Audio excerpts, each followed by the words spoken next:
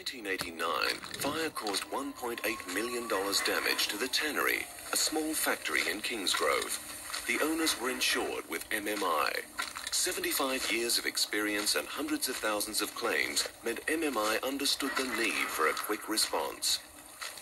In fact, MMI approved the $1.8 million claim the very next day.